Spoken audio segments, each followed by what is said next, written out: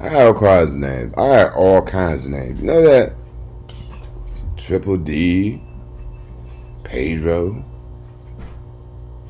uh, fag, homosexual. I like derogatory names.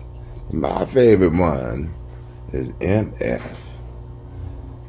I'm gonna change my name to Dis MF. The rich man said, This MF be making us money.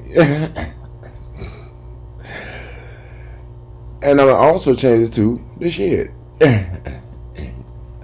the shit. I put a job application say who you hire. The shit. we interviewing the shit today. Damn. Do we stink? Why they call him the shit? He's supposed to be all that. That's what the black people say. Let's see if his doo doo were smelling all the time. nah, I don't have. Pick the other one. I don't get shitty.